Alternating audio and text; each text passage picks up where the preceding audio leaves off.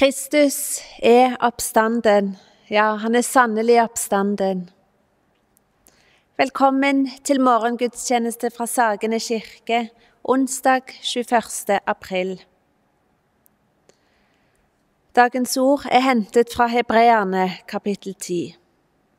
Gud sier, Jeg vil gi mine lovbud i deres hjerter og skrive dem i deres sinn og deres synder og all deres urett vil jeg ikke minnes mer.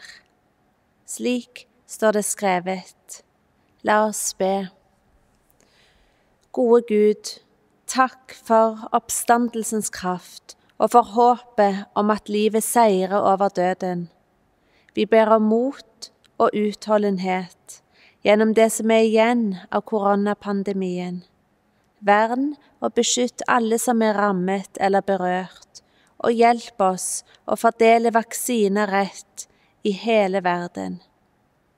La våren vokse i oss og mellom oss. Gud, vi ber. La oss tenne lys for det og de vi tenker på.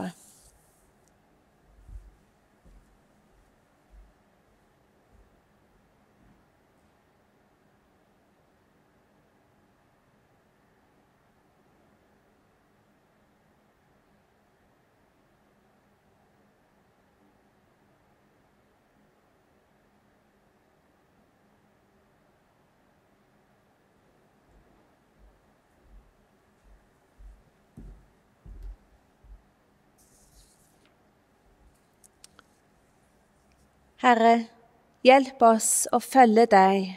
Hjelp oss å skape fred ved å gi mennesker det de trenger for å leve, ved å utjevne kløften mellom fattig og rik, ved å løse konflikter uten bruk av vold, ved å verne om ditt skaperverk og ta vare på ditt ord. La godhet og rettferd velle fram blant oss lik bekker som aldri blir tørre. Sammen ber vi vår Far. Vår Far i himmelen, la navnet ditt helliges. La riket ditt komme. La viljen din skje på jorden slik som i himmelen. Gi oss i dag vårt daglige brød, og tilgi oss vår skyld, slik også vi tilgir våre skyldnere. Og la oss ikke komme i fristelse, men frels oss fra det onde, for riket er ditt, og makten og æren i evighet. Amen. Ta imot velsignelsen. Herren velsigne deg og bevare deg. Herren la sitt ansikt lyse over deg og være deg nådig. Herren løfte sitt åsyn på deg og gi deg fred. Amen.